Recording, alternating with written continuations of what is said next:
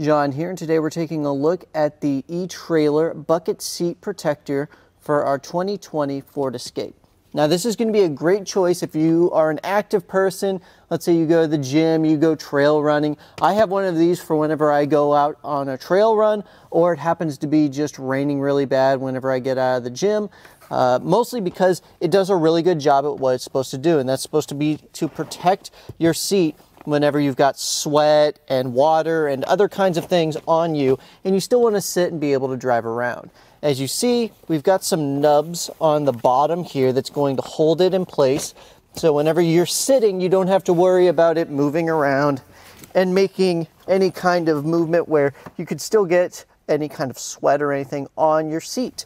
So it is really nice for that. It's also very easy to take on and off, so you can just take it off whenever you want to throw it in the wash, which I definitely recommend you do if you're an active person.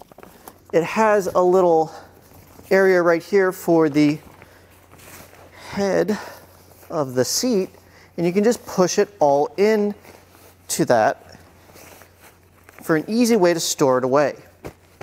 As you can see, that takes up a lot less space. You can just chuck this right into the wash and then not have to worry about it. So I definitely recommend buying this. It's a great gift if you have somebody that just bought a new vehicle and you want to keep it nice and clean, or if somebody happens to be on your wish list that's an active person.